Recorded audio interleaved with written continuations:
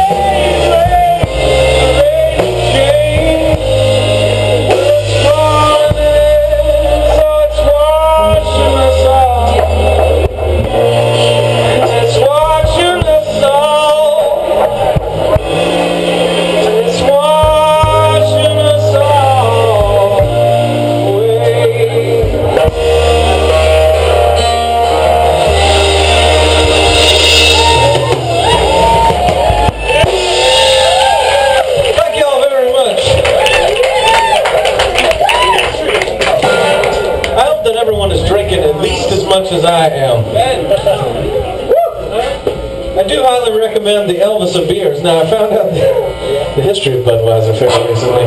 So during World War II, people, uh, wheat was scarce, you know, and uh, so you had to make beer out of rice. And uh, that's what gives Budweiser its distinct, distinctive crispness. Anyway, here's a song about rockets. So yeah, we're gonna we're gonna take you on a journey in your future, in our past, across the altered states of America. giornate serene.